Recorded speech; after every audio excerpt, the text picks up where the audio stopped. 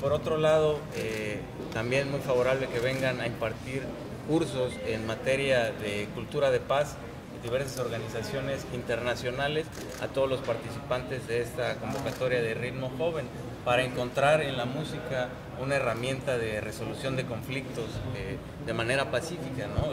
como lo comentaba hace un momento, eh, entendemos la música nosotros eh, como una comunidad que crea precisamente esta comunidad, que hace que las juventudes pues detonen este potencial y esto haga que se, que se orienten eh, este potencial de la mejor manera, esta, este talento que tienen y, sobre todo eso, que sirva como una herramienta de paz, de convivencia sana.